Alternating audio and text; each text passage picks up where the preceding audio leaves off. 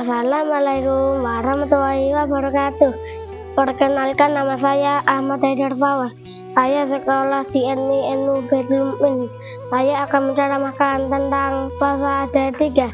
Dalam kitab Ihya Ulumuddin karya Iman Al-Ghazali dijelaskan bahwa puasa dibagi menjadi tiga. Yang pertama puasa umum, yang kedua puasa khusus, yang ketiga puasa khusus khusus.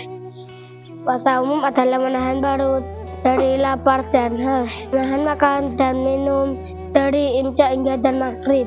Puasa khusus adalah menahan telinga, mata, lidah, tangan, dan kaki, serta seluruh anggota tubuh dari dosa. Menggunakan telinga untuk mendengar kebaikan, mata untuk melihat kebaikan, tangan bukan untuk melakukan hal kejahatan, dan kaki bukan untuk mengarah hal-hal yang positif.